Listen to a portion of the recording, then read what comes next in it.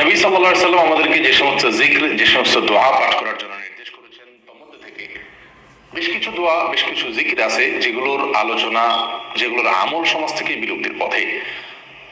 ঠিক সেরকম একটি জিকির হলো ইয়াজ আল জালালি ওয়াল ইকরাম সুনানে তিরমিজি থেকে তিরমিজিতে বর্ণিত এক হাদিসে নবী সাল্লাল্লাহু আলাইহি ওয়াসাল্লাম ইরশাদ করেছেন আলিজু বিয়াজ আল জালালি ওয়াল ইকরাম। অর্থাৎ তোমরা ইয়াজ আল জালালি ওয়াল ইকরাম, এই জিকিরটি, এই দোয়াটি বেশি থেকে বেশি নিয়মিত করো এবং এটাকে ধরে রাখো, আঁকড়ে ধরো।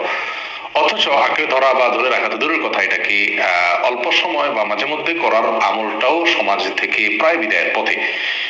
আল্লাহ সুবহানাহু গুণবাচক নামের অন্যতম একটি নাম হলো ইয়াজুল জালাল ওর ইকরাম যার অর্থ হলো হে জালাল অর্থাৎ সৌন্দর্য পূর্ণতা এর মালিক বড়ত্বের অধিকারী বলে ইকরাম অর্থাৎ হে দাতা হে মহান দানশীল হে মুক্ত হস্তে এবং উদার হস্তে দানকারী।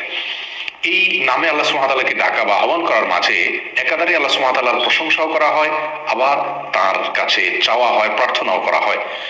নিয়মিত যদি আমি এই জিক্র এবং দোয়া করতে থাকি, তো তার মানে আমি আল্লাহ সুমাতালার প্রশংসাও করছি, আবার আল্লাহ সুমাতালার কাছে নিজের প্রার্থনা বা জিও পেশ করছি।